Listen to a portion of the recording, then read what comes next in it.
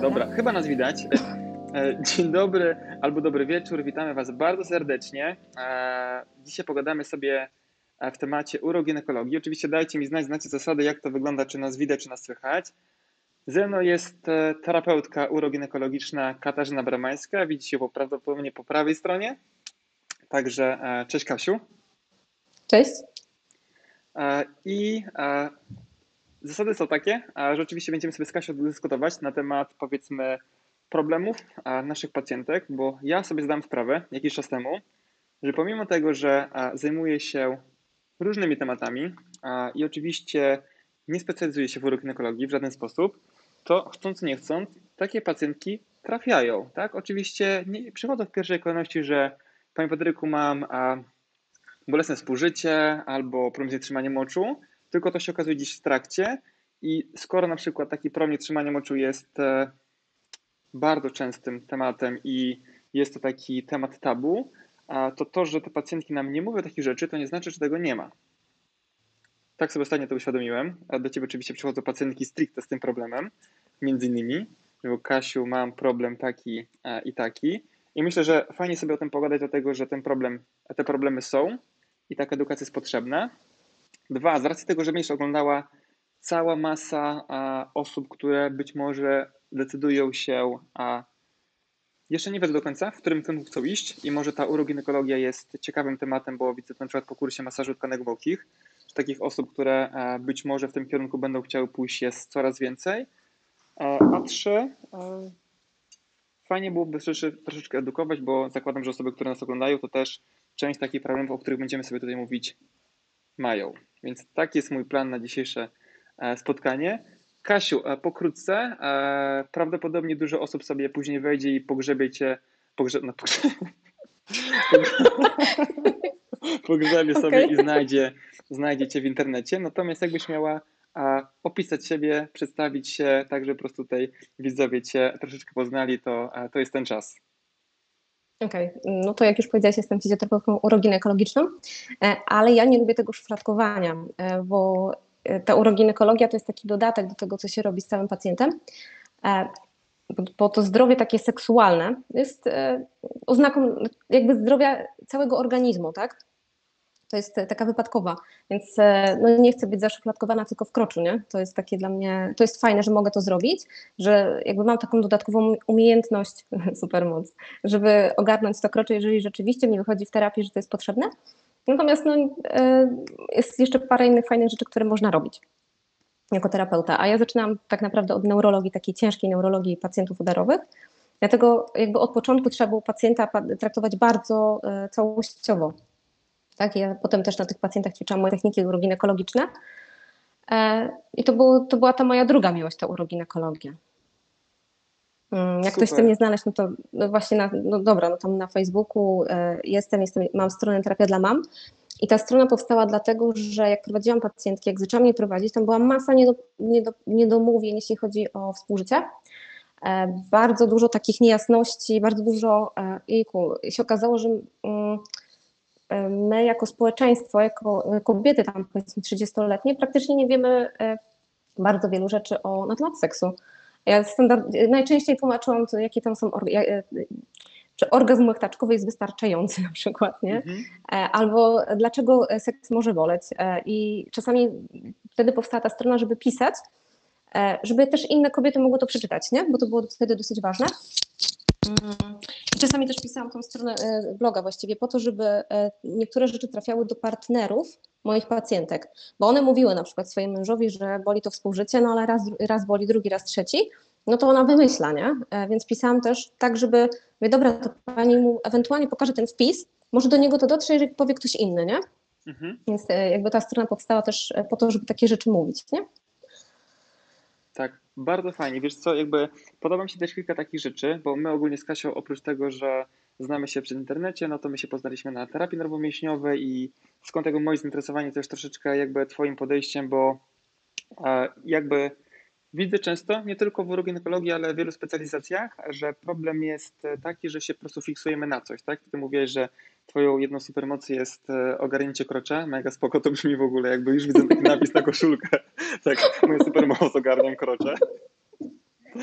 E, to oczywiście zajmuje się całą masą, całą masą rzeczy, bo e, tak jak przykładowo ja zajmuję się różnymi tam bólami, przewlekłymi i tak dalej i, i oczywiście najczęściej trafiają pacjenci kręgosłupowi i tak dalej. I się okazuje, że ten kręgosłup ok, on jest problematyczny, ale jest cała masa innych rzeczy, to zakładam, że ten nomienicy też jest problematyczny, ale jest cała masa rzeczy, które może wpływać na to, że ono jest problematyczne, stąd mamy tam różne problemy trzewne związane też z, z jakby z seksualnością, z bolesnym współżyciem i tak dalej, i tak dalej, tak? To jest cała całą masę, więc wydaje mi się, że to będzie e, fajne, dlatego że dużo osób jakby bardzo mocno myśli, jakby terapia urogynekologiczna to jest tylko i wyłącznie tam e, praca od powiedzmy połowy kości udowej do pępka maksymalnie, czyli albo dochodzimy do pochwy i macie coś z tej strony, albo od góry, no nie?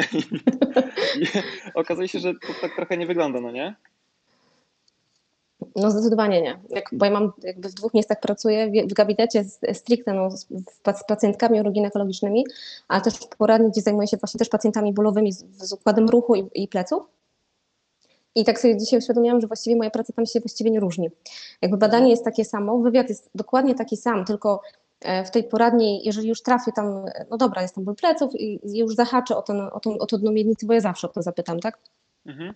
To już może takie skrzywienie, ale dla mnie to są ważne objawy. I rzeczywiście jeszcze, coś tam. Jak, wiesz no. co, od razu tak powiem, bo myślę, że to będzie też ciekawe. Jak mówisz, że zawsze zahaczasz od miednicy, to znaczy, że pytasz w wywiadzie o co? E, no, pytam się, e, czy ma Pani na przykład nietrzymanie moczu? Mhm. Mm, e, albo czy, czy to jest tak, że. Mm, a, czy jest współżycie bolesne? Czy jest Pani zadowolona ze swojego współżycia? Czy są orgazmy? Tak po prostu przy okazji, nie? Ale to jeżeli rzeczywiście tam wiem,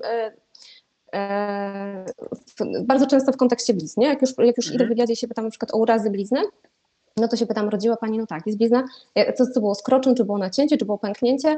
No było tam powiedzmy pęknięcie. Mówię, okej, okay, a czy to daje jakieś dolegliwości właśnie przy współżyciu, czy Pani zauważyła jakąś zmianę? Już w, wtedy idę w tym kierunku, nie?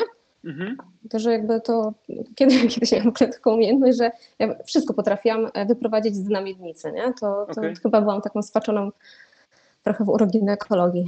E, tak, ale wiesz co, to jest tak, że wydaje mi się, że to jest dość normalna sprawa, dlatego że jak się powiedzmy wchodzimy w coś, to się często fiksujemy na jakiejś metodzie, na jakimś obszarze.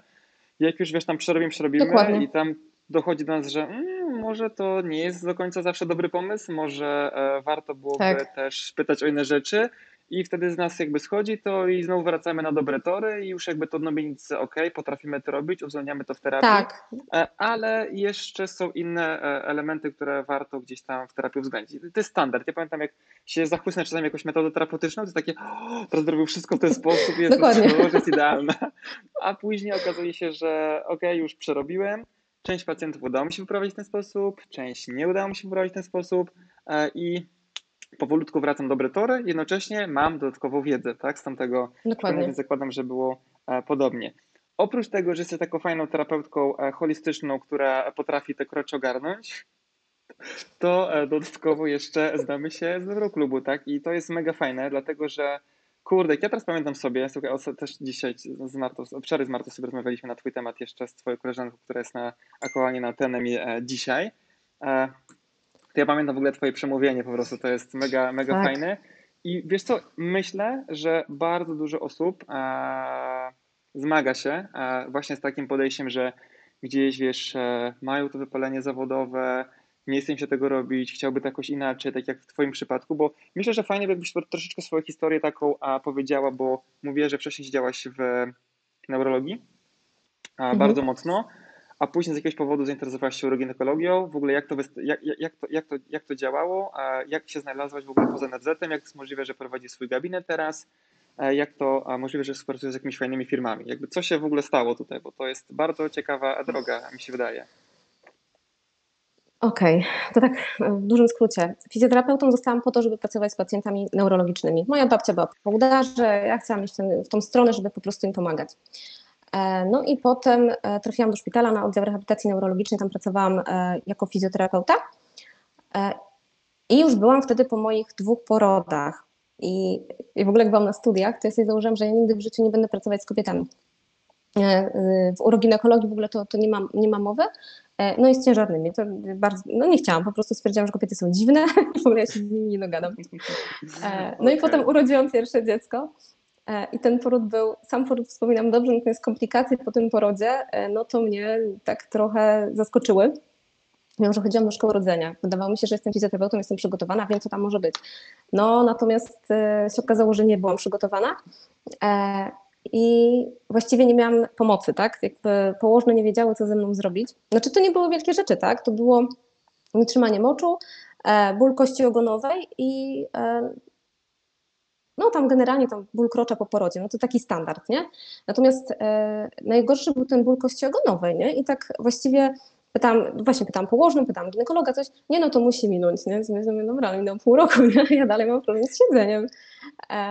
Okej, okay. no i potem zaczęłam szukać, tak? Ćwiczeń, no, zaczęłam od szukania ćwiczeń e, na mięśnie wynamiednicy, bo 6 lat temu to nie było jeszcze takie popularne, jak jest teraz. Mhm. Teraz po prostu wystarczy wpisać uroginekologię, jest tego pełna, a to wtedy E, udało mi się gdzieś ściągnąć jakiś skrypt z książką, tak? E, żeby w ogóle taki w ogóle ten, żeby w ogóle zacząć cokolwiek robić.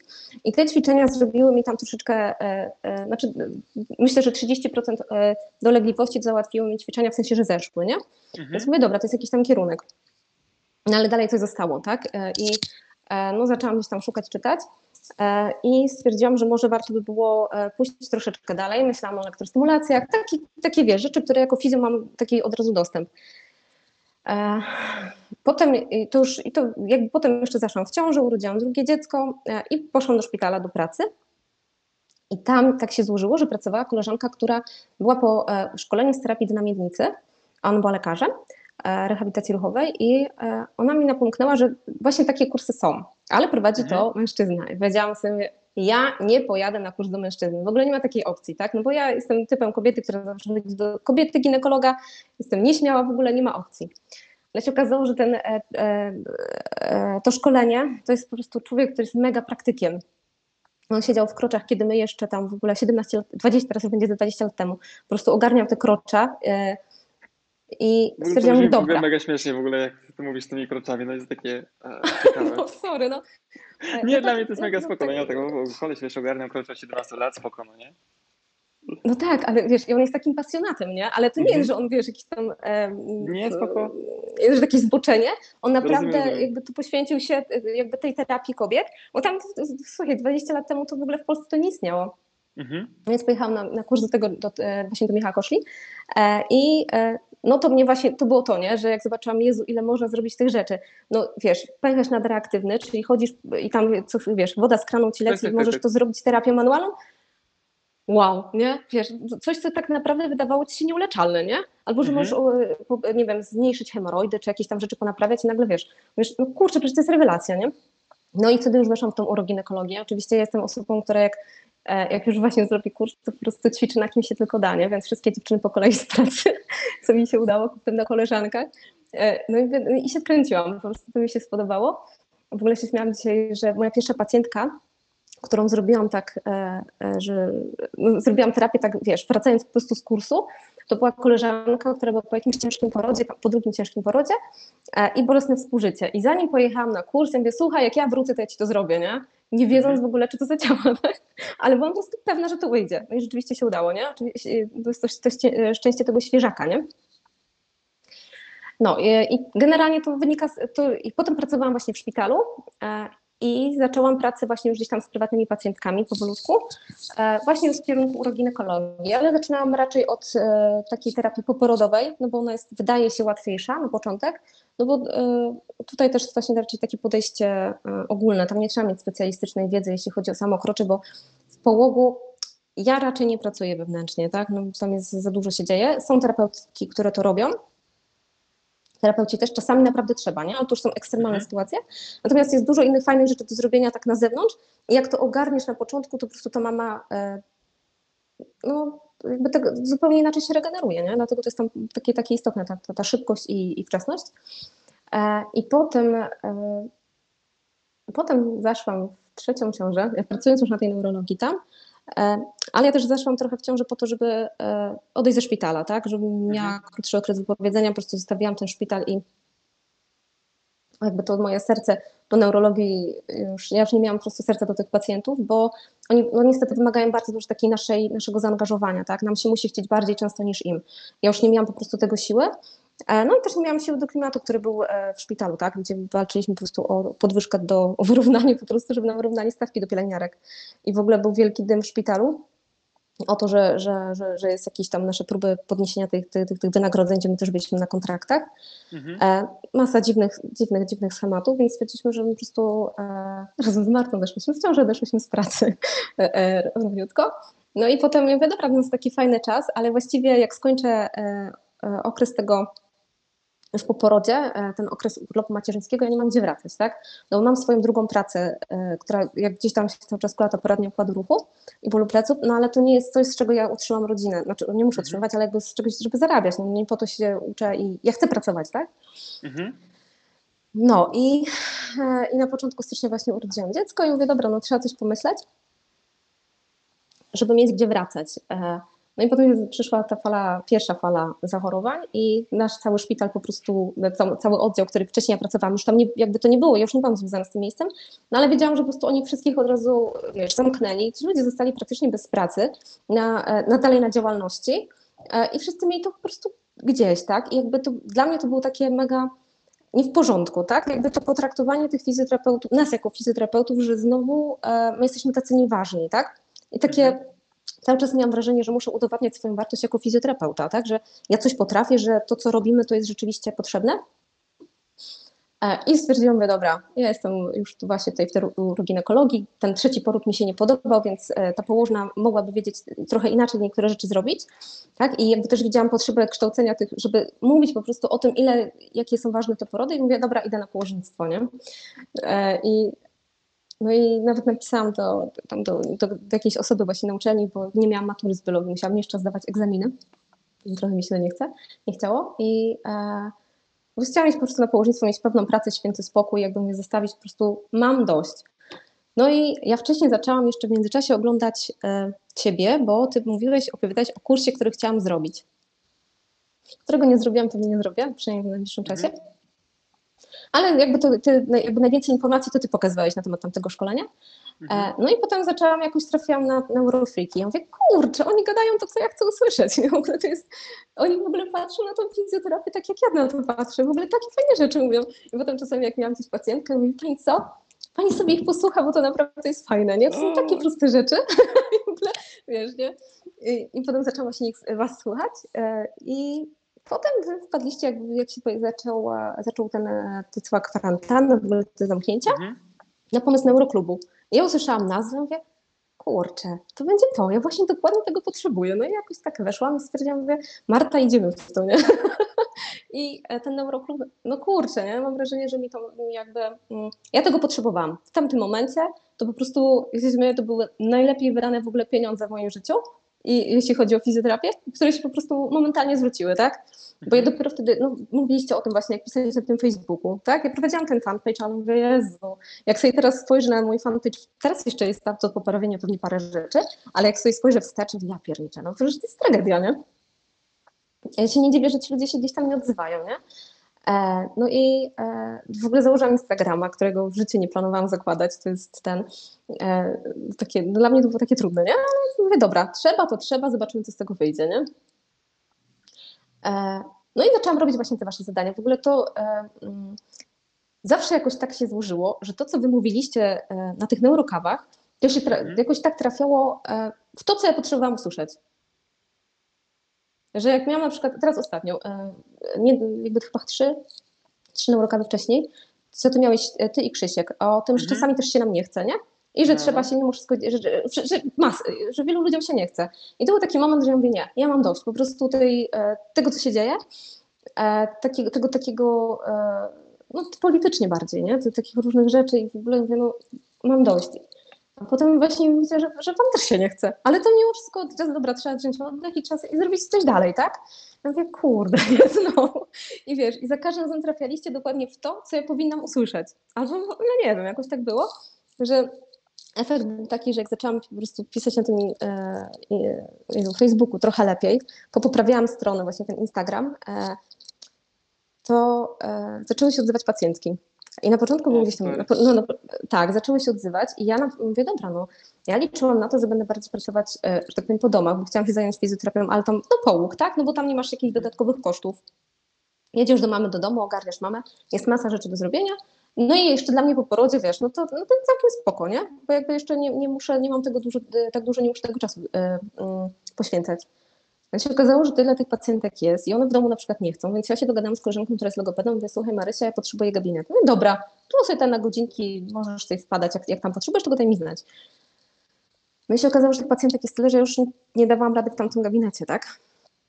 No i musiałam wynająć gabinet e, i jeszcze w ogóle się śmiałam, że mimo wszystko, mimo że jakby ten e, koronawirus gdzieś tam mnie bezpośrednio dotknął, bo jestem na macierzyńskim, no to mm, też dostałam te różne środki pomocowe, tak? No bo one były, tak? Masa ludzi się o to starała. Mhm. Mówię, kurde, ty kiedyś mówiłeś o tym, że czasami się pojawiają takie pieniądze na przepieprzenie.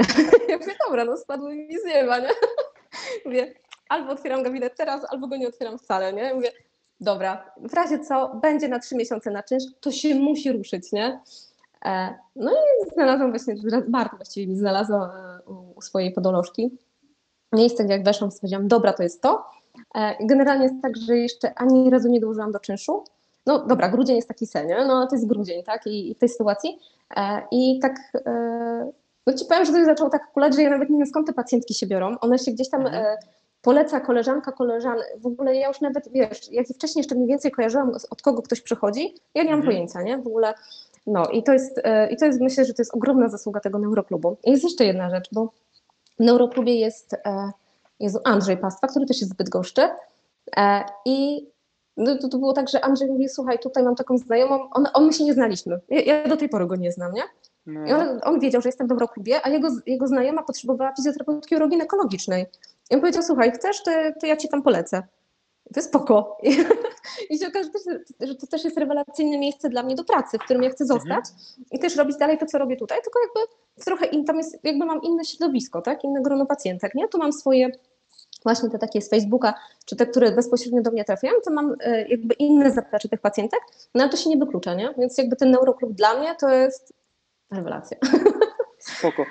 W ogóle bardzo dziękuję, bo jakby, znaczy dziękuję, jakby ja to bardzo lubię słyszeć takie, wiesz, sytuacje, że, bo w fizjoterapii jest tak, że jest troszeczkę tego narzekania i tak dalej, że tu jest jakby ciężko, że jest bardzo trudno rozkręcić, a jakby ty pokazujesz, że, że, że można i to de facto w takiej powiedzmy trochę niszowej tematyce, tak, bo jednak e, ta uroginekologia, te problemy, ok, dobra, jakby tego jest więcej niż 6 lat temu, ale dalej o tym się specjalnie nie mówi, tak, bo zakładam, że jakbyśmy zrobili sobie taką ankietę e, nawet w większym mieście, czy można zrobić coś pod kątem manualnego z problemami typu nietrzymanie moczu, no to by się okazało, że dużo osób nie ma o tym zielonego pojęcia.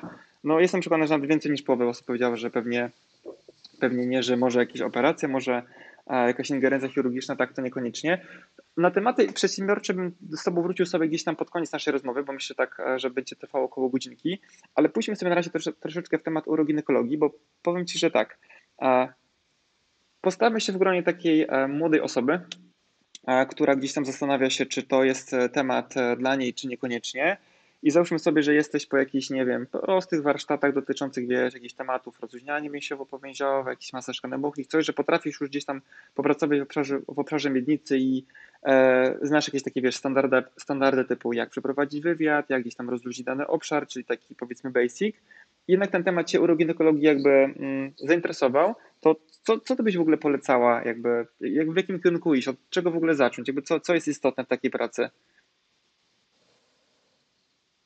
Mm, o matko, nasze podejście, w sensie e, te techniki, e, umiejętności miękkie, to jak my rozmawiamy z mhm. tą pacjentką, bardzo często, no to e, tu trzeba naprawdę umieć słuchać, Trzeba trochę poczytać o fizjologii kobiety ciężarnej i o fizjologii połogu. To to nie jest to mhm. samo, co praca ze sportowcem czy z jakimś pacjentem po udarze, bo to są po prostu bardzo delikatne, tam wystarczą naprawdę delikatne techniki i myślenie całościowe tak naprawdę, nie? bo wystarczy poprawić sylwetkę, to wiele rzeczy powinno się unormować u tej mamy, tak, przyszłej. Że jakby mm, czasami nam się wydaje, że my potrzebujemy mieć specjalne techniki i specjalne umiejętności, a e, na, e, w połogu to się tak naprawdę trzeba się skupić na tym, żeby rozluźnić to standardowa korekcja sylwetki na przykład, tak? Prace mhm. nad piersiowymi, tak? Otwarcie tej klatki piersiowej, ustawienie miednicy prawidłowe, takie e, podstawowe rzeczy, tak? I to robi kupę roboty, bo jeżeli my zmniejszymy na przykład, ustawimy tą miednicę prawidłowo, tak? Wyjdziemy z tej sylwetki ciążowej tak naprawdę, tak? mhm. tak? Włączymy pracę mięśni brzucha i rozluźnimy sobie trochę lędźwia, tak? Jakby no tutaj mówię po.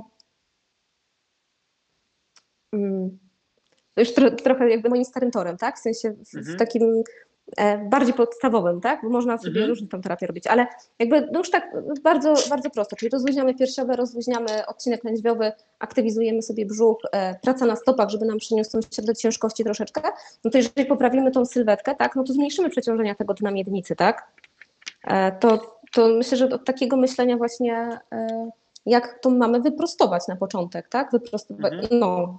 Warto jest też na przykład pójść e, w terapię visceralną. e, Właśnie o to żeby zapytać, no popracować nie? z- czy według Ciebie jest jakby istotny element pracy uroginekologicznej, żeby gdzieś tam umiejętnie pracować na brzusznej? Jak, jak często zdarza Ci się z jamą brzuszną pracować u takich pacjentek?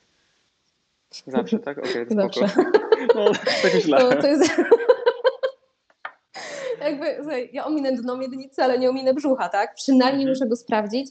Kurczę, zobaczcie, gdzie się, jak sobie wyobrazicie, jak idą, co się dzieje z jelitami w czasie ciąży na przykład, tak? One po prostu lądują, ja, ja do tej pory, będąc trzy razy w ciąży, ja nie mam pojęcia, gdzie były moje jelita. Mhm. Jak one opadają na dół, nie zawsze opadają, tak? Przecież tam się tworzą różne tam sklejenia, tak? No przecież tam jest kupa roboty z tymi jelitami. Zazwyczaj po każdej kolejnej ciąży jest troszeczkę gorzej. I w tych problemach trawiennych, no to tam dużo się dzieje, nie? Mhm. Mm, e, dobra. Więc ta visceralna to mi się daje taka podstawa, nie? Tak, znaczy ja też tak myślę w tych kategoriach, Mhm. wiesz co, ja będę czasami zadawał takie pytania, jak e, powiedzmy, e, bo jakby znam więcej profil osób, które nas oglądają, wiem, że jest, część osób, które są fajnie doświadczone, już jest tam, wiesz, pracują z takimi osobami, ale część osób, które jakby, hmm, wiesz, bo temat tej terapii visceralnej też jest taki e, terapeutycznie śliski trochę, no nie, że jakby, mm, co ty w ogóle tam robisz, przecież jakby nie masz wpływu na jelita i tak dalej, po co, to nie za bardzo dowodniono naukowo, więc to są takie tematy, o których gdzieś tam warto, warto mówić. Natomiast jest to jakby troszeczkę pociągnę też jakby mm, w innym temacie, bo e, mówisz jakby ominiesz na miednicy, ale jamy brzusznej niekoniecznie. To jest tak, że e, zdarzają się pacjentki, które mają standardowe problemy powiedzmy natury tam kobiecej, tak? Nietrzymanie moczu, bolesne współżycie, bolesną okresję i tak dalej i zdarza się z nimi w ogóle nie pracować z miednicy na przykład? Mm, tak. Spoko. A E, często jakby zwłaszcza tak jeżeli jest. E, wiesz co, ja się zastanawiam, teraz ja w tym miesiącu pracowałam z dnem miednicy może, może z pięć razy, więc to jest w Okej. ogóle mega rzadko. E, na przykład przy takim dużym napięciu, jeśli chodzi o duże napięcie, Jezu, bolesne współżycie mamy jakby tak bardzo prosto dzieląc, możemy podzielić na bolesne współżycie, czyli trudność rozpoczęciu współżycia, bo Mhm. jest wejść, ciasne wejście do pochwy, Mhm. no a drugie to jest tam, tam przy, przy głębszej penetracji. No to jeżeli ja mam e, duże napięcie przy wejściu, no to tam w ogóle nie ma opcji, żebym wchodziła palcami, tak? Znaczy są Mhm. terapeuci, którzy tak pracują. Dla mnie jest to bez sensu, tak? No bo ja jeszcze prawdopodobnie jeszcze tylko to podrażnię, to zwiększone napięcie prawdopodobnie z czegoś wynika. E, I tutaj jest praca tak naprawdę z całym ciałem. Trzeba posprawdzać te napięcia wszędzie i poszukać, E, co powoduje, że, że okej. tam to wzmożone napięcie jest, tak? Tak, wiesz co, przez chwilę Mhm. nie było cię słychać, ale już jest okej. E, E, mhm. Dobra, tak, już, teraz- już, jest w porządku. Mhm. Był jakiś taki, wiesz, e, przynajmniej ja nie słyszałem. E, tak, co, to, to jest mega, cieka- to jest mega No. ciekawe, bo obserwuję sobie czasami różne grupy e, i, i niestety jakby e, widzę, w którą stronę troszeczkę idzie ta ginekologia i z jednej strony jest to fajne, bo jakby o tym się więcej mówi i rzeczywiście, znaczy ryzyko jest takie, że zajmuje się tym oczywiście dużo osób, e, jak wszystko jak zwiększa się ilość, to oczywiście dowiaduje się coraz więcej os- o tym osób, ale też pojawia się strasznie dużo pierdowatych tematów w związku a z tymi trzeba mieć, wiesz, jakby wiedzę na temat, ja- jak oddzielić to, co jest rzeczywiście naprawdę od tego, co niekoniecznie, e, niekoniecznie tak jest, więc e, dużo takich dziwnych rzeczy tam się też pojawia. Natomiast jakby widzę, jaki by ten kierunek i e, okazuje się, że bardzo dużo osób pracuje w ten sposób, że jeżeli jakiekolwiek problemy z obszarem na zdarzają się i mamy takie standardowe kobiece problemy, to praktycznie zawsze, wiesz, badają dno miednicy dopochwowo, zawsze, wiesz, gdzieś tam jest taka próba aktywacji w trakcie gdzieś tam tego badania i to jest chyba niekoniecznie jakby dobry pomysł, bo tak jak mówiliśmy sobie wcześniej, taka mocna fiksacja na, na właśnie tym obszarze, tak? Sobie też z Martą rozmawialiśmy teraz na kursie, że jest bardzo dużo terapeutek, jak e, sobie ona zaobserwowała, które właśnie e, pracują tylko i wyłącznie, wiesz, e, dopochwowo i tylko i wyłącznie e, gdzieś tam e, właśnie intraoralnie z, z tymi pacjentkami. No i chyba to nie jest specjalnie dobry e, kierunek, mi się wydaje. No, jest, no dla mnie nie, tak? Jeżeli, wiesz co, no jeżeli ja, ja czasami mam pacjentkę, która chodziła na przykład do kogoś wcześniej, była na trzech, czterech wizytach i nie było efektu, no to jeżeli ja bym po dwóch wizytach nie miała efektu, to bym pomyślała, że muszę tu pracować przynajmniej gdzie indziej, nie? Mhm. Takie mam podejście. No jeżeli mam z wizyty na wizytę dokładnie to samo, no to nic się nie zmieniło, tak? To znaczy, że to nie- przynajmniej to nie jest to miejsce, nie? No, a no, no, jakby dla mnie to kroczy, to wiesz, jeżeli tam gdzieś po porodzie na przykład, to, czasa, to rzeczywiście tak jest, że ono może być istotne, tak, żeby od tego Mhm. zacząć. Jak, jeżeli, ale jeżeli ta mama, no bo, bo tam był uraz, tak, bo tam, prawda, jeżeli mówimy o porodzie naturalnym, tak, no to trzeba to sprawdzić, nie? Jeżeli są objawy, tak? E, No natomiast jeżeli są jeszcze jakieś inne rzeczy i to na przykład pacjentka nie rodziła, to ja bym szukała zupełnie gdzie indziej, nie? Mhm. że to trzeba pomyśleć zawsze i dobrze ten wywiad zrobić, nie? Jakby jak masz dobry wywiad, to zazwyczaj ci wychodzi od czego zacząć, nie? Czy to rzeczywiście trzeba tam, kurczę, wiesz dlaczego ja tego nie robię, od tego, krocza, bo ja nie cierpię terapii przez krocze mieć robionej, tak? Mhm. Przecież to nie jest moja terapia. Raz, że no, włazi ci ktoś tymi łapka, rękoma, rękoma w obszar, który jest e, bardzo intymny, ja i tak to robię zawsze, na moja pacjentka zawsze jest gdzieś tam zakryta. Ja nie oglądam krocza na przykład, nie? Mhm. Staram się tego nie robić, to naprawdę już musiałoby się coś zadziać. E, I zakładam, że moje pacjentki tego nie lubią, tak? No ile kobiet nie lubi chodzić do ginekologa, tak? Więc jeżeli zakładam, jeżeli uda mi się zrobić terapię, nie wchodząc w to krocze, no to mam nadzieję, że więcej pacjentek przyjdzie do mnie po to, żebym im pomogła, tak? Nie, że nie będzie się wstydziła przyjść z czymś, e, bo ma nietrzymanie moczu. Może się okazać, że to nietrzymanie moczu wynika tak naprawdę z intolerancji pokarmowych, tak? Mhm. I jestem w stanie to wykryć, a ja pra- trzymając palce w kroczu, to ja tego nie sprawdzę, nie?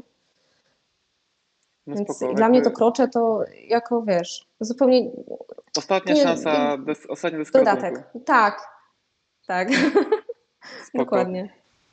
No, domyślam się, że dla wielu osób jest to, jest to problem. Wydaje mi się, że też jest to troszeczkę problem e, związany z tym, że jest. W sumie to nie wiem za bardzo. Nie znam specjalnie w swoim e, bliższym gronie terapeutycznym, gdzie tych terapeutów jest e, myślę, że dziesiątki. E, Nawet w Neuroklubie mamy troszeczkę osób e, robiących różne rzeczy i chyba nie ma tam żadnej osoby, która zajmuje się, i na kursach chyba też nie było, która zajmuje się uroginekologią i z płci męskiej. Wiesz, jakby O w tym Jezu. temacie. To w ogóle jest tragedia, nie? E, Ale wiesz co, to trochę winni są mężczyźni sobie. Sorry. No tak jest, bo do mnie czasami też e, dzwonią. Jak dzwonią, to jeszcze pół biedy. Ale dostajesz na przykład SMS-y e, e, e, typu e, Pani ja sikam. No nie? Wiesz, e, jak na przykład, wiesz, takie po prostu i nie wiesz, czy on cię wkręca, czy w ogóle o co chodzi, tak? E, jak na przykład zaczynałam na przykład pracę jako fizjoterapeutka, to ja standardowo dostawałam jakieś propozycje, wiesz, masażu od A do Z, nie? E, Tak, ale słuchaj, ja też dostawam, także wiesz, jakby zdarzyło mi się dostać takie propozycje. Ale także- wiesz, i, i, I myślę, że większość kobiet fizjoterapeutek, która pracuje w uroginekologii na myśl, że ma ogarnąć faceta, to w ogóle sorry, nie? Nie po to jakby to jest problem, ale ostatnio dzwonił mężczyzna i ja tak sobie pomyślałam, mówię, nie, nie, ale on był taki normalny, nie? Generalnie tak Mhm. się w rozmowie. Rzeczy podejrzewam, że rzeczywiście miał problem. Ja go odesłałam do osteopaty, no bo mężczyzna i ja mówię, że dobra, to pan zadzwoni tam, jeżeli e, ten, e, ten pan się nie zgodzi, to ja spróbuję, bo stwierdziłam, mam terapię nerwowo-mięśniową, prawdopodobnie okaże się, że to nie jest krocze, to mogę się pobawić, nie? Ale mówiłam, że ja z mężczyznami generalnie nie pracuję i to będzie takie szukanie, nie? E, No i generalnie się nie odezwał, więc zakładam, że tamten go wziął, e, tamten osteopata, E, ale to, no to jest problem. Wiesz co, ale z mężczyznami to też jest to, bo to co mówiłam, że mam też tą inną pracę i tam czasami przychodzą panowie mm, z różnymi problemami. No oczywiście mężczyzn, jeżeli tam coś jest przy tych plecach czy coś, ja pytam o, e, do miednicy także, tak? O współżycie, no to kurde, młody mi się żaden nie przyznał. Jeden mi się raz przyznał, że ma hemoroidy i to jest w ogóle Mhm. wszystko, tak? E, Oni jakby nie chcą mi o tym mówić, tak? E, No ale dobra, ja jestem młoda, mogą się po prostu krępować. Starsi panowie o tym mówią, tak po pięćdziesiątce. Jak jeszcze są po operacji prostaty albo jakichś innych na międzyusznej, to oni się już przyznają, tak? I to mi się zdarzyło popróbować na nich jakieś tam rzeczy porobić, e, właśnie w tamtej poradni, e, tak z czystej ciekawości zupełnie. Mhm. E, No, to, ale potem odsyłałam też właśnie do tego, mm, akurat do Michała, tam, gdzie robiłam kurs, bo wiem, że on tych mężczyzn ogarnia, tak? To, ale jakby, no trochę winni są właśnie też panowie, nie? Sobie, że, że, że my potem się ich po prostu trochę boimy, nie? Tak, znaczy wiesz to wygląda tak, No. tak, po pierwsze w ten sposób, że rzeczywiście panowie e, rzadziej chodzą e, do takich specjalistów i nie wiem, to w sumie to zastanawiam sobie, jak sobie radzą z tym, jak nie chodzą, e, jakby, ale ciężko, ciężko powiedzieć. Natomiast może tych problemów, znaczy oczywiście mamy mniej takich z racji tam anatomicznych uwarunkowań problemów w obszarze choćby dna miednicy i takich problemów uroginekologicznych. Natomiast e, pierwsza rzecz jest e, taka, że po pierwsze rzeczywiście panowie rzadziej korzystają, ale wiesz co, panowie rzadziej korzystają w ogóle z, e, z fizjoterapii, bo ja się nie specjalizuję w, jakby w żadnej płci, natomiast rzeczywiście i tak jest więcej kobiet. I na przykład w gabinecie po prostu jest więcej kobiet. Chyba w Mhm. każdym gabinecie jest więcej kobiet. Ja nie, nie wiem, co z tymi mężczyznami jest nie tak, co się z nimi dzieje, ale druga sprawa też jest taka, czy ty jako powiedzmy terapeutka uroginekologiczna znasz jakąś osobę, mężczyznę, który zajmuje się pracą e, taką jak ty, z takimi pacjentkami? Tak. No właśnie ten Tak? Michał Koszla, którego się Oprócz uczyłam. niego, oprócz tak? twojego e, tutaj instruktora, nauczyciela, czy też jest? E, wiesz co, wiem, że jest jeszcze jeden chłopak u nas, e, tak, jest jeszcze jeden chłopak, który jest u nas polecany w Bydgoszczy. Pacjentki go też między sobą polecają, jakieś są na grupach, no to widzę. I wiem, że na jakiejś grupie fizjoterapeutów, tak, urogine, fizjoterapeutów generalnie uroginekologicznych jest e, też jeden mężczyzna. Wow, bo więc to, to już się mamy zdarza. trzech, no nie? Elegancko. Całkiem sporo. Ale no może ma- ja tam mało wiem, nie? No. Ale wiesz co, wydaje mi się, że e, odstrasza e, mężczyzn to, rzeczywiście jakby stresują się to, że będą musiały, musieli pracować, bo ta praca jest tak, tak, tak, tak się o nie myśli, bardzo często, niemal codziennie po prostu e, w kobiecych e, narządach płciowych. Że, Nie, że tam, nie. no, czy- ale, ale Jezu, jak się uprzesz, to tak no nie? będziesz robił, nie? To, to możesz tak robić. Ty możesz kolano mobilizować przez pochwę, jak, jak bardzo chcesz, nie? E, to- Nie znam tej pierwsze, wiesz? Myślę, jakby, no, myślę, no, dało. Znaczy myślę, że ten, nie? E, jak się dobrze pokombinuje, to wiele rzeczy można. No, Natomiast nie można. wiesz, ja mam na przykład kolegę, e, mam kolegę, który e, jest też na mojej stronie ogólnie, Mateusza. E, On się nie specjalizuje w uroginekologii, ale on ma w sobie coś takiego, że te kobiety po prostu do niego przychodzą. I on mówi, że on ma Mhm. pełno ciężarnych, pełno po porodach. E, On w ogóle nie, nie wiesz, żadnych technik tam wewnętrznych, nie? E, No ale jest mm, no, generalnie ogarnięty chłopak, myślący i no, jakoś tak sobie z nimi radzi, nie? I one do niego po prostu chodzą, Mhm. bo go lubią. Lubią do niego chodzić Mhm. właśnie kobiety. Fajnie. Więc, A u nas w gabinecie też jest Marcin, który pracuje takimi właśnie podejściem osteopatycznym. Zaczął sam studiuje osteopatię i tam to rzeczywiście też, pomimo tego, że nie pracuje żadnymi technikami, wiesz, e, intraoralnymi, no to zdarza się tak, że no, ci pacjenci, pacjentki też niego lgną, ale też jest taki, wiesz, miły, empatyczny, przyjazny, e, taka, wiesz, Mhm. do, dobra dusza, no nie? I, Ma takie, ma to takie, e, takie coś w sobie, no to takie ciepło. no, że duży pierwiastek kobiecy, no nie? Jak nazwijmy to. Tak, no to Cześć, samo ma ten kolega, Tak, trochę tak. E, dobra, wiesz co, więc mam nadzieję, że tak trosze, troszeczkę nam się udało być może e, odczarować, że przynajmniej kilka osób będzie miał refleksję, hmm, czy ta urogeninologia to nie jest tylko grzebanie w kroczy, no nie? Więc spoko, może by się tym Nie. tematem Mogę jeszcze coś zainteresować. dodać? Tak, oczywiście. Z pacjentek, które najchętniej chodzą na terapię, to są dziewczyny po porodach, które mają rozejście kresy białej e, albo Mhm. terapia blizny. Więc tam krocze to, wiesz, to już naprawdę sobie są dziewczyny, które to przemyślą. E, najczęściej brzuchy, nie? No bo to nie jest, nie wstydzisz się pokazać i, i to jest, no jakby od tego się zaczyna, nie? Możesz się zająć głównie na przykład brzuchami w uroginekologii, e, czy, czy, czy bliznami i zobaczyć, czy ci to po prostu leży. Jeżeli się okaże i stwierdzi, że no dobra, może faktycznie kiedyś to krocze by się przydało, to warto po, zrobić sobie potem jakieś szkolenie, gdzie chociaż jest ta, to, to badanie raz do, do, do spróbowania, tak? Natomiast e, jakby to, jakby większość tych pacjentek jest e, mm, no jakby nie stricte na, na to takie badanie wewnętrzne, nie? Okej, spoko. Wiesz, jesteśmy w temacie, Możemy- jesteśmy w temacie blizn, znaczy, wydaje mi się, znaczy tak, osoby, które pracują manualnie, ja sobie nie wyobrażam bardzo, że ktoś powie, że mm, terapia blizn mi nie leży, no nie, jakby wiemy specjalnie jakby, jak, jak, znaczy, wiesz, wiemy jak te, jak urazy są, jak ważne są, e, nie tylko jamy brzuszne i krocza, tylko po prostu urazy, więc nie, nie wyobrażam sobie terapeuty, które pracują manualnie i mówi, ja, ja to nie czuję klimatu pracy z tymi, wiesz, penisami pourazowymi bliznami, ja jednocześnie chcę pracować manualnie, no to, to, jest trudne raczej, e, wydaje mi się. No, Albo mamy efekty bardziej średnie niż lepsze. E, Mhm. Natomiast, e, co jest ciekawe, bo już jesteśmy na temacie blizny, słuchaj, powiedz mi, jak często, bo to jest taki, taki, e, też taki temat, który pojawia się, na przykład, nie wiem, na naszej strefie terapii nerwowo-mięśniowej albo w różnych miejscach, że jest ta kurde blizna krocz, na kroczu i ona jest taka, ojej, i co z nią zrobić, no nie? Jakby dobra, blizna po cesarce, spoko, praca, jama brzuszna, nawet jakieś, wiesz, techniki, pinopresura, igłoterapia, niektórzy tu igują sobie ten obszar jawy brzusznej, no ale ale blizny na kroczu. Co z nią robić? Zdarza się pracować stricte z tym obszarem, jakby blizny na kroczu? Po cięciu Mhm. albo po... Okej, często? pęknięciu. Mhm. Teraz rzadziej, kiedyś dużo więcej tego robiłam, e, ale no, nie wiem, może mi się po prostu pacjentki zmieniły. e, Bo ta blizna czasami naprawdę potrafi namieszać, nie? E, O, ja domyślam się, że tak jest. Znaczy ja to wiem, nawet się nie domyślam, nie po prostu, Tak. że może, może tak być. Ale wiesz co, ja robię tak, że po pierwsze, no jakby zawsze, e, jeżeli przychodzi pacjentka i mówi, że po porodzie pojawiło się bolesne współżycie e, i ona czuje przy, tam ból przy wejściu do pochwy i na 90% to jest blizna, no to e, jeżeli ona chce, to ja to po prostu z tym pracuję, tak? No to trzeba... to, e, no, powiedz mi, pacjentki tak mówią, że jakby, że ona wie, że to jest blizna? W sensie? Jakby No pacjentka to sobie wiedzą, sprawę? często czy- wiedzą, Okej. tak. Ona, albo ona sobie to dotknęła i wy, wyczuła, że to jest to, albo, ona pod, ja, albo jak ja już robię wywiad, to się okazuje, że wie Pani co, może to faktycznie jest ta blizna, tak? Mhm. E, no, to ten, ale czasami no wtedy już wiadomo, muszę zbadać i jak dotykam, no to ja mówię, Państwo, to jest ta blizna i tutaj rzeczywiście może trzeba popracować.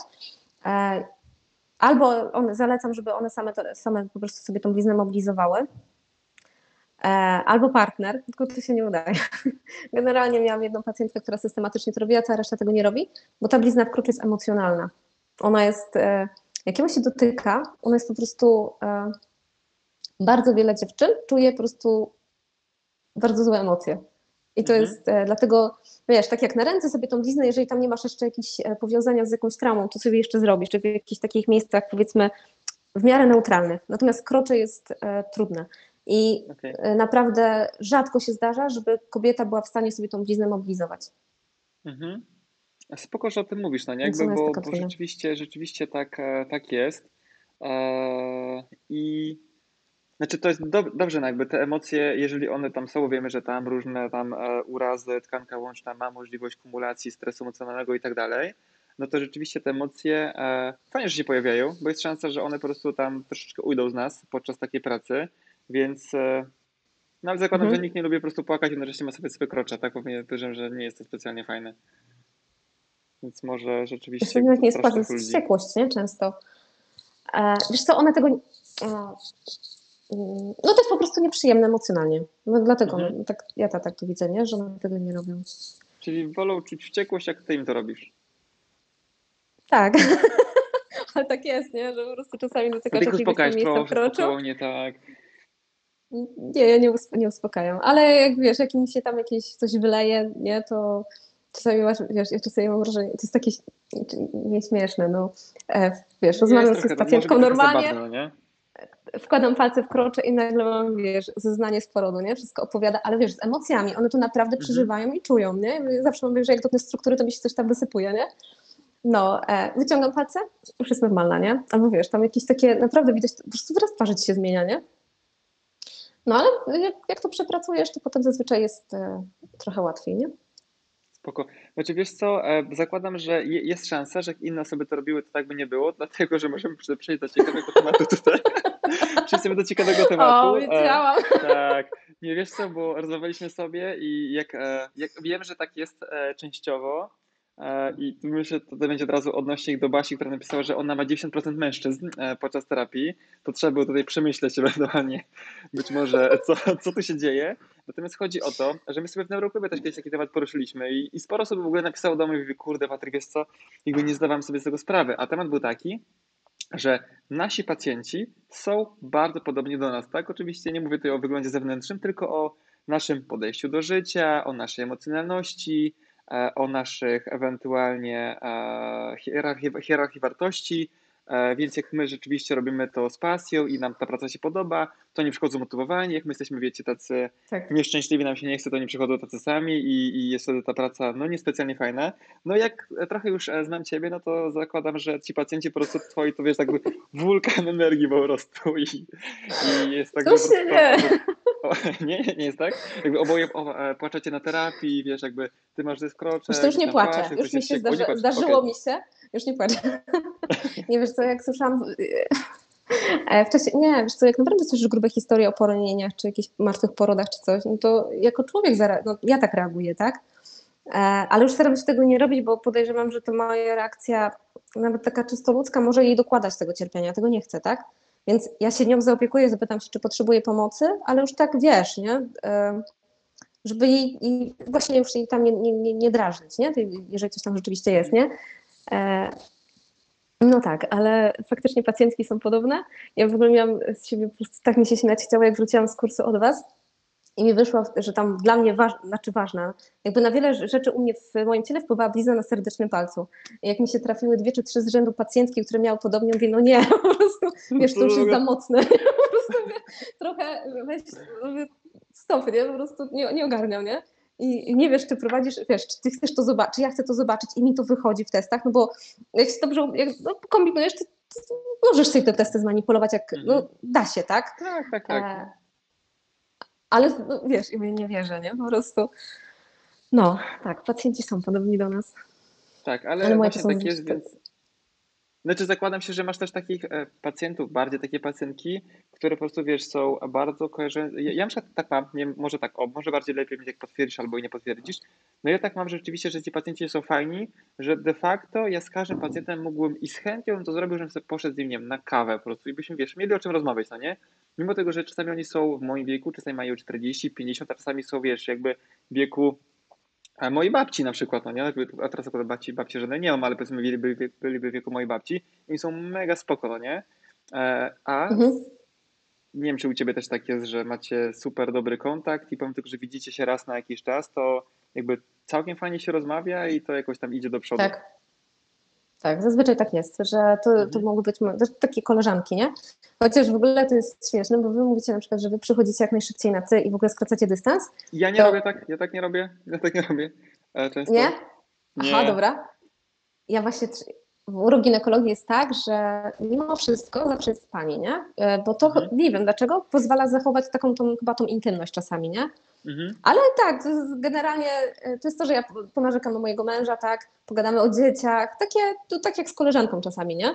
I wtedy też mam wrażenie, że one dzięki temu mi opowiadają bardzo dużo rzeczy, nie? O takich nawet, e, że tam czasami jak jestem w innym miejscu, to na przykład e, swojemu lekarzowi ginekologowi nie powie o tam na przykład o bulimii, tak? Albo o tym, że dopiero w ciąży się gdzieś tam to uregulowało. Ja takie rzeczy wiem, tak? I jak już mhm. podrążę temat, to się okazuje, że tam niezła historia w rodzinie jest, nie? Że y, chyba no, ja tak drążę, że one to, może ta moja bezpośredniość, nie? I, i, i ta emocjonalność powoduje, że one rzeczywiście mi to wszystko opowiadają, nie? Mhm. Ale tak, pacjentki są takie, że y, no, dla mnie one są koleżanki, tylko jestem na pani, nie? Tak. to jest taka różnica. Wiesz co, u mnie, u mnie jest bardzo podobnie, rzeczywiście też tego dystansu nie skracam, jakby staram się zachować profesjonalizm. Oczywiście jak pacjenci czasami, znaczy tak, nigdy nie wychodzę z inicjatywą pierwszy, e, czasami zdarza się, że po prostu są rzeczywiście mega młode osoby, tak, więc jak ktoś jest po prostu w wieku tam 27 lat, no to zdarza mi się po prostu, wiesz, jakby komuś powiedzieć na ty i on do mnie mówi też na ty. Czasami się zdarza, że jak ktoś jakby zapyta się, czy możemy być, a jesteśmy gdzieś na, wiesz, jakby w podobnym wieku, no to jakby nie widzę z tym problemu, już bez przesady, jakby nie chcę mieć takiego kija w tyłku, mhm. mieć takiego, ale zawsze jest początek i więc trzy czwarte pacjentów jest e, na mhm. pan, pani i jest wszystko w porządku. Czasami nawet jest mi jakby trochę trudno, w tym sensie, że ktoś, jakby już umówiliśmy się, że jesteśmy na tym, jakby jesteśmy w podobnym wieku, okazuje się, że nawet ten sam rocznik, ale tak jest pan, pani i tak dalej. I już mówi, zapyta się, czy możemy przejść. Mówię, spoko, możemy przejść, ale wiesz, czasami tak, co drugi raz to, panie Marku, mówi, a nie, nie, nie, nie na to się mawialiśmy, no nie? Ja wie, kurde, zapomniałem. Jeszcze raz, no. dobra, Marek, słuchaj. Ale tak, tak. druga tak. wizyta mija i ja wiesz, znowu, a mówi, a jakby inne były umowy. Więc, e, ale jakoś tak się złożyło, że, że chyba to jest rzeczywiście trochę profesjonalne, bo a, odkąd wchodzę sobie troszeczkę w tematy, wiesz, jakby e, terapii różnych, emocjonalnych, no to rzeczywiście, tak jak powiedziałeś, nie myślałem o tym w ten sposób wcześniej, żeby rzeczywiście troszeczkę e, zrobić taki profesjonalizm i, i mam takie, wiesz, jakby sytuacje, że w ogóle temat jakby poronień różnych w przeszłości i problemów, które są z tym związane, to jest e, plaga. Masa tego jest więc to wychodzi mhm. na maksa często, jak robimy sobie kinezologię energetyczną, e, terapię e, i rzeczywiście może jakby e, nie bycie na takich, wiesz, koleżeńskich warunkach jest, jest lepsze na przykład na tej terapii. I ktoś, kto się czuje, powiedzmy, nie tak. wiem, bardziej profesjonalnie na przykład. Bo i tak już jest mu głupio, bo tam wiesz, sobie trochę popakuje, gdzieś tam wiesz, mu łezki leczą. Nie wie za bardzo, co z tym zrobić, bo myślał, że wiesz, to jest prosta sprawa, boli kręgosłup, tutaj po prostu mhm. pomocujemy, a potem się okazuje, że głównym tematem jest stres emocjonalny, ale już myślę, że sobie z tym wszystko wiesz, jakby poradził, więc e, może rzeczywiście te bycie z kimś na perpan jest wtedy lepsze, tak mi się wydaje. Tak, daje tak trochę takiej neutralności, nie? I przestrzeni, takie mam wrażenie. Mhm. Spoko. E, fajnie. E, słuchaj, dużo, a bardzo często wchodzisz w tematy jakby takiej, bo tak, a jak już mówimy sobie o tym, jak ty pracujesz aktualnie z pacjentami, to często jest tak, że wchodzisz w tematy emocjonalne, jakby masz jakieś narzędzie do tego? Jak, jak to wygląda u ciebie? One same wchodzą. Znaczy, wiesz co, znaczy no teraz to terapia nerwowo-mięśniowa, nie? Natomiast ja zawsze miałam Mhm. takie coś, że jak dotykałam struktury, która jest powiązana z emocją, to mi to zawsze wywalało, nie? Kurczę, nie? To, to, Musisz to rozwinąć teraz, bo często sobie o co chodzi, ja wiem o co chodzi, ale mówi, czyli co jakby dotykam czegoś, jak to wywalało, coś, co się wydarzyło, jakby coś fizycznie się działo na skórze, coś Ojejku, się... no przychodzi pacjentka, rozmawiamy sobie normalnie, robię terapię, nie wiem, sprawdzam brzuch, sprawdzam wszystko po kolei, jest fajnie, dotykam sobie obojczyki, ona mi zaczyna ryczeć, bo ojciec zmarł i ona teraz sobie przypomniała i w ogóle ona opowiada o tym ojcu. Puszczam obojczyki i nagle się okazuje, że ona mm, zmienia temat, nie? E, Albo na przykład w krocze, nie? Jeżeli był traumatyczny, to, to standard, nie? Dotykam tra- tra- ciężki poród, dotykam krocza i ona po prostu zaczyna płakać, tak? E, molestowanie, e, dotykam po prostu ciała, nie wiem, tam powiedzmy spojenie łonowe i nagle jest, że widzę, że widzę, że po prostu to zaczyna wychodzić z niej, tak, jakby ta emocja, e, no jakby pozwalam na to wyjście, tak, jakby no, no to, Mhm. musi pójść, tak. E, no i no, tak, tak zawsze miałam właśnie, że jak już weszłam, dotknęłam czegoś, coś, ostatnio się śmiałam, znaczy, no to jest coś, ja mam coś takiego dziwnego w sobie, e, była dziewczyna, która była e, na terapii, e, u niej był problem z, już nie pamiętam, ale generalnie chodziło o to, że ona międzycza- mię- był- wcześniej miała terapię łokcia, bo był złamany. I tam się nic nie działo z tym łokciem. Ale jak ten łokieć był złamany, to była jakaś historia jeszcze przy okazji. Jak ja dotknęłam, to ona dopiero zaczęła płakać i, i nogi jej się zaczęły też trząść, bo mówi, ojejku, bo coś tam wtedy się działo, nie? I ja mówię, ja mówię, dobra, ale ty już miałaś terapię tego, nie? Bo to akurat tam jeszcze, akurat z nią byłam na ty, nie? No, e, jakby też miałaś tą terapię, no tak, nie? I, i jest dla mnie zastanawiające, czemu akurat jak ja to dotknęłam, to się zaczęło, E, no ale może to jest ta moja otwartość, tak, że jakby no wiem, że to może się zadziać i jakby, jakby pozwalam. No nie, nie mam pojęcia, nie? Ale wiem, że to się dzieje, że właśnie przy tej, u mnie to jest tak na strukturze, nie? Że dlatego dla mnie zawsze taka dosyć ciekawa była ta psychosomatyka i chciałam zrobić szkolenia z tego, ale na razie, na razie to dojrzewa, nie? Spoko, ja już widzę Mam ścieżkę inne- kariery inne- dla ciebie w głowie, no nie, więc... To już podrzucić jakieś pytanie, jak to, jak to ma wyglądać, bo ewidentnie rzeczywiście, wiesz, no i ja tak przykład w ogóle nie mam, no nie, w sensie jakby, nie wiem co by musiało się wydarzyć, żebym po prostu dotknął pacjenta za obójczykiem i zaczął tu mówić ojcu, nie, to prędzej bym musiał mu powiedzieć, a nie ma pan jakichś problemów z ojcem? "Mm, w sumie co, a może ja jestem wyczulona na to? Dobrze, to właśnie, ja wiesz, to super, widzę. jakby, to się nazywa, Może to jest ta moja nazywa? skrajna emocjonalność, no. To się nazywa? To się nazywa talent, no nie, który trzeba po prostu Super moc. który trzeba jakoś tam e, rozwijać. E, kurde, dobra, fajnie złożyło się. Powiedz mi, myślisz, że jakby jeśli chodzi o takie tematy natury kobiecej, to jakby ten czynnik stresu emocjonalnego jest jakby takim czymś dużym i obciążającym to, że nie wiem, masz bolesne współżycie, masz nietrzymanie moczu, masz bolesne okresy, to tam ten czynnik emocjonalny jest ważny według Ciebie często w gabinecie, jak obserwujesz sobie na przykładzie pacjentów? Tak, bardzo często. Że no to tak. Wiesz co, ale ja mam pacjentki, które są jak.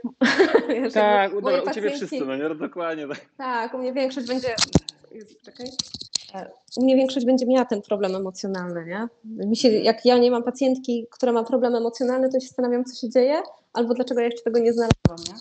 No, albo może, ej, a mo- a może w takim razie, hmm, dlaczego ich nie ma? Znaczy, to też jest refleksja, no jakby się okazało, że od tego roku nie masz tych pacjentów emocjonalnych i stwierdziła, kurde, może, a coś się zmieniło we mnie, że już ich nie ma tych pacjentek. Jeszcze inaczej. Hmm. No, może sobie poradziłam z temat, rzeczami, nie? nie? No. Dobra, wiesz co, e, do Was taka prośba, osoby, które oglądają, e, bo ja mam dla Ciebie w ogóle kilka tematów e, w przyszłości i myślę, żebyśmy sobie trochę może poruszyli, więc jak byście chcieli troszeczkę Kasię za język pociągnąć właśnie w takich tematach tak by stricte, tak, gdzieś tam praktyka, wywiad, jak pytać w ogóle o takie rzeczy? Słuchaj, mega trudny temat, bo jak mi się zdarza pytać, wiesz, o nietrzymanie moczu spoko, to jest taki temat w ogóle, on dla mnie nie jest w żaden sposób tabu, czy tam bolesne okresy, czy bolesne współżycie, to jakby to jest spoko, E, Orgazmy? Hmm. O to bym chyba jeszcze nie zapytał specjalnie e, na dzień dzisiejszy. To by było takie trochę dziwne dla mnie, w sensie, że jakby moi pacjenci tak, wiesz, jakby po pierwszej e, wizycie mają często mindfucka typu po co mu te informacje, w ogóle o to chodzi, czy on jakby jest jakimś stalkerem i będzie mnie śledził. teraz, więc e, ten, ten e, No. Tutaj orgazm byłoby takim pytaniem jeszcze e, trudnym dla mnie, ale w ogóle e, jak na przykład e, zacząć, no nie, jakby, wiesz, jest, jesteś fizjoterapeutką de facto i nie jesteś też ginekologiem, bo podejrzewam, że wiesz, tam być też troszkę inaczej przychodzi. Jakby pacjenci zakładam, że też często nie wiedzą w ogóle, z czym to się je twoja praca i mają już takie, czasami są z polecenia, czasami są z internetu i za bardzo nie wiedzą Mhm. o co chodzi, ale mają problem, idą do ciebie i w ogóle wiesz, jakby jak, jak to zrobić, żeby jakby w ten sposób z pacjentami, wiesz, tak w sposób otwarty jakby o tym rozmawiać, bo zakładam, że dużo osób miałoby z tym mega problem, chcieliby o to zapytać, ale na przykład nie wiedzieliby jak. Ale to taki temat, wiesz, To ty nie możesz się- no nie? Aha, czy teraz nie musi nie mówić. No, ale to Nie, generalnie znaczy, w sensie, chcę wiesz, zrobić możesz jakiegoś wprost. tipa strzelić, to nie ewentualnie. Ja mówię wprost. Pytam, w ogóle nie udaję, znaczy nie, jakby, e, jak ja bym się zaczęła wstydzić, to oni też. Ja się tego w ogóle nie wstydzę. A, Mówię, to- jakby to była to- najnormalniejsza rzecz na świecie e, i żeby im ułatwić, na przykład wtedy patrzę w zupełnie innym miejsce, czegoś szukam albo sobie piszę coś w komputerze. E, Bo wiem, że wtedy im jest trochę łatwiej o tym powiedzieć, Mhm. a jak tam zazwyczaj jest, a jak orgazmy? No są, mówię, a y, jest Pani zadowolona? No okej, nie? A bolesne współżycie? E, No tak, a w jakiej pozycji? I tu już jest zawsze, o co Ci chodzi, nie? I sobie nie interesuje mnie, jak to Pani robi, bo to są, wie Pani, Polacy to w dwóch pozycjach najczęściej, tylko chciałabym wiedzieć, gdzie ten członek trafia, bo tam prawdopodobnie jest problem z tą strukturą. I wtedy nie ma problemu, Mhm. nie? Tak. Jakby prosto. nie masz Ja- ja tak wiesz, tak, czy jest pani zadowolona ze swoich e, współżyć? Nie, nie, nie, nie, nie. Ojej. E, Prosto konkretnie, nie? Jako objaw. Dobra. Słuchajcie, jak chcecie troszeczkę Kasi pociągnąć za ten temat, e, bardziej powiedzmy tak praktycznie na temat urogineko, no to e, dajcie znać w komentarzu, to jeszcze tam ją przycisnę, czy to u siebie na e, fanpage'u, czy zrobimy sobie to na projekt masaż, takiego streama w niedalekiej przyszłości, bo jest to temat, który jest jednym z dwóch tematów, który e, jest u mnie na tapecie na rok 2021, czyli po prostu chciałem troszeczkę wejść ten temat uroginekologii, e, kompletnie od innej, od innej tematyki, czyli jakby takiego globalnego spojrzenia, jednocześnie myśleć w kategoriach najmniej jako takiej wypadkowej, a dużo, czyli to, co de facto mówiłaś tutaj, bo mi się zdarza, ale troszeczkę chciałbym więcej po, nie wiem, czy to mogę mówić, ale poeksperymentować sobie z takimi e, osobami. Oczywiście zakładam, że jakbym sobie zaczął z nimi eksperymentować, to wszystkie wyszłyby zadowolone jakby z tej e, wizyty. nie o to mi chodziło, od razu mówię. Na pewno. Ej, ja w ogóle pracuję sobie, wiesz, jakby z asystentką, więc u nas jest w ogóle mega profeska i tak. Ja, nieważne jak się bawicie, nieważne, że wszyscy są zadowoleni. Wszyscy zadowoleni, wszyscy byli zadowoleni. Natomiast e, no fajnie byłoby troszeczkę sobie odczarować ten temat i, i troszeczkę innego spojrzenia jakby e, pokazać ludziom. Nie, nie to, że uczyć, tylko że pokazać, że hmm, może być rzeczywiście, wiesz, jakby no kurde, temat typu nie, wiesz, jakby nie trzymanie moczu i, i nie wiem, problem porazowy w obrębie kolana. Może się zdarzyć. Masz takich pacjentów na przykład? Poczekaj, bo mnie e, ucięło, że nie trzymanie Okej, moczu e, i problem... nie wiem, problem nietrzymania moczu, załóżmy, jak już o tym często mówimy i na przykład jest to związane z problemem półrazowym w obrębie kolana. E, Miałeś coś takiego? bardziej ból miednicy na przykład, nie? Ból spojenia, ból Okej. krzyża i wychodzi z kolana, nie? E, osłabienie tak i potem jest osłabienie tak, Okej. tak. No to to jednym z objawów było, no to się nasiliło. Mhm. No, to ostatnio tak Tak, i wiesz, jakby to są takie tematy, które wiesz, jakby dla wielu osób, jakby co? Jakby, jak to możliwe po prostu, że mam problemy, wiesz, z miednicy i to się objawia jakimiś problemami kobiecymi e, w sytuacji, e, kiedy nie miałam, wiesz, jakby nawet nie byłam w ciąży często, albo może byłam w ciąży bardzo dawno temu i teraz się okazuje, że doszły jakieś dodatkowe rzeczy i mam ten problem, a de facto zaczął się od kolana. Jakby to są takie rzeczy, o których e, to był przykład, no nie? Oczywiście gdzieś tam wymyślony aktualnie, natomiast jak najbardziej prawdopodobny i takie sytuacje się zdarzały, więc fajnie było o tym mówić. Więc jak chcecie, żebym wam troszeczkę e, tutaj Kasię pociągnął za język, to dajcie znać w komentarzu i sobie coś takiego zrobimy. Ale mnie interesuje jeszcze jedna rzecz, e, mianowicie, bo ty jesteś e, pod Bydgos- pod Bydgoszczy, no nie? No to generalnie wszystko się dzieje w Bydgoszczy, ale mieszkam pod Bydgoszczą, no. Pod Bydgoszczą, no nie?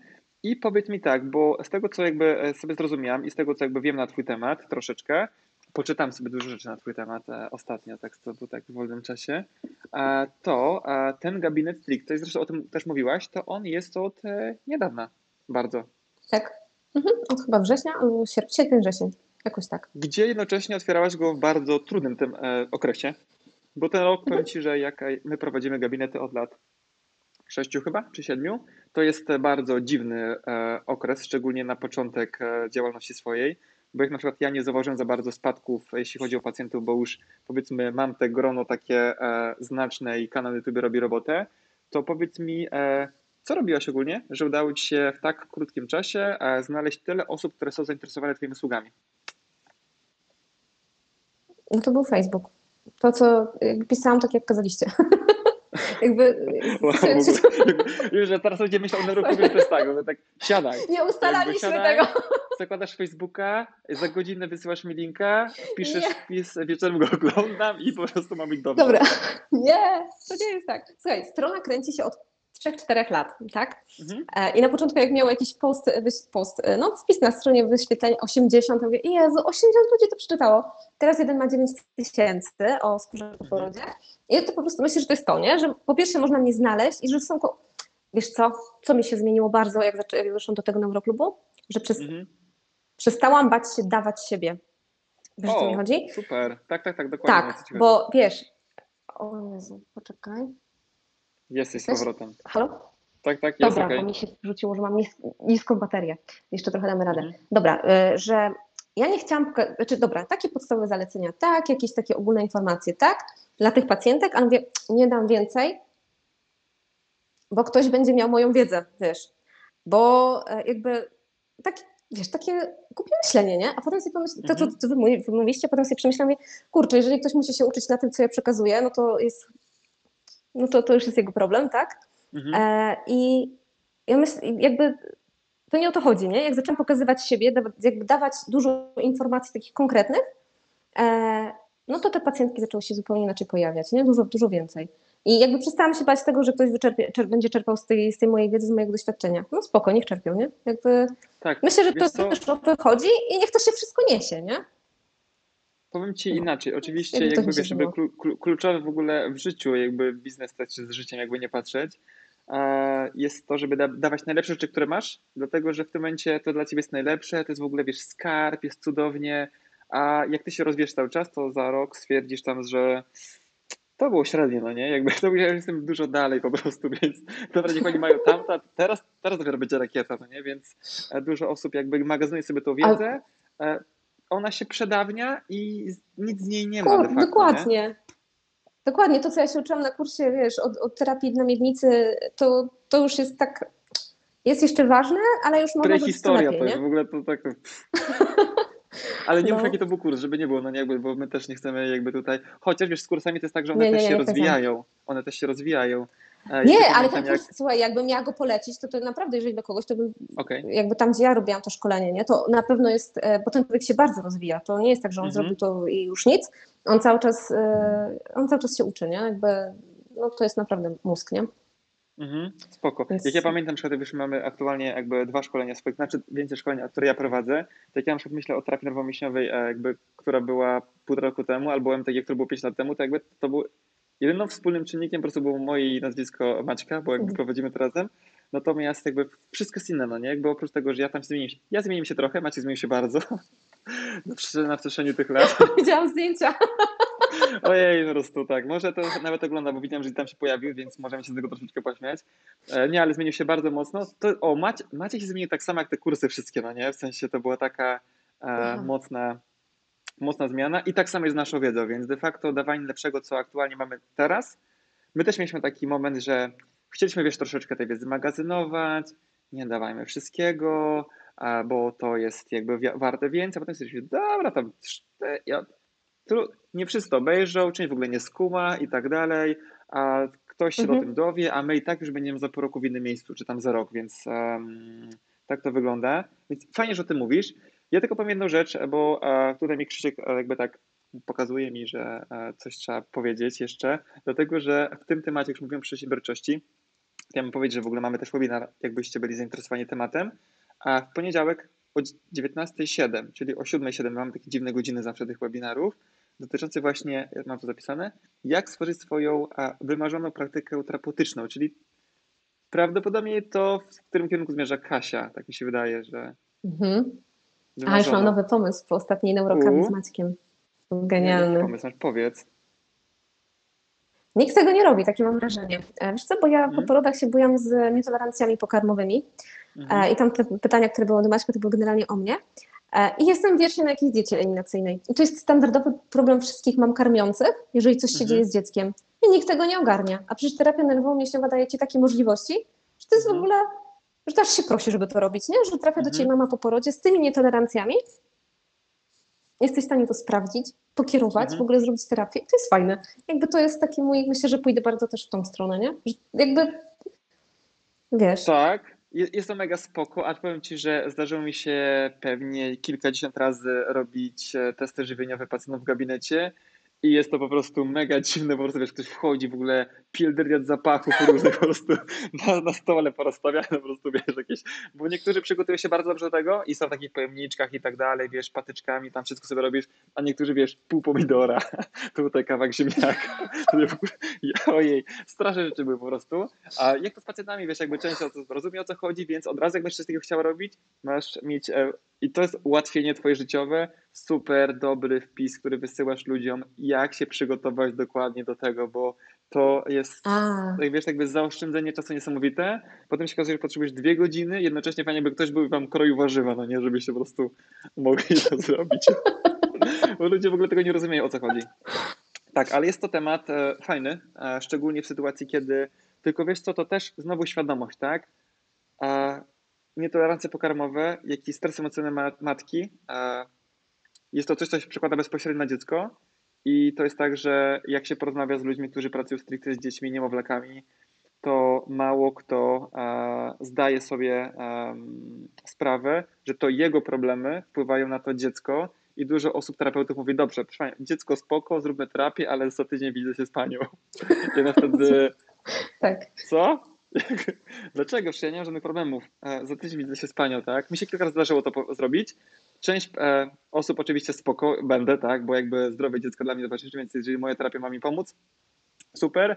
Część osób bardzo sceptycznie do tego podchodzi, ale co by nie mówić, e, to też nie jest kwestia wiary, po prostu tak e, jest, no nie? że po prostu Mhm. Fajny temat, idź w tym, bo wydaje mi się, że to jest e, super e, pod kątem eliminacji. Pewnie też prędzej czy później wylądujesz gdzieś tam w tematach, wiesz, mocno e, emocjonalnych ze swoimi pacjentkami. I Jeszcze wiesz, myślę, to będzie terapia mamy i dziecka. E, Przyjdź, mamo, pomóż sobie i swojemu dziecku. O Jezu. Tak to będzie wyglądać. Mm. Kto wie? Powiem, może tak będzie. Zobaczymy. E, tak. E, wiesz co, Kasiu, ja ci w ogóle, e, chyba powolutku będziemy kończyć. Super dziękuję e, za w ogóle takie, wiesz, myślę, że dużo osób pośmiało się dzięki tobie dzisiaj. E, od samego początku do samego końca w związku, wiesz, z ogarnieniem krocza i, i, tak dalej. Fajnie było, że ludzie mieli refleksję, że okej, do medycy fajnie, dobrze umieć to badać, bo zakładam, że ktoś jest terapeutką, ty tam terapeutą.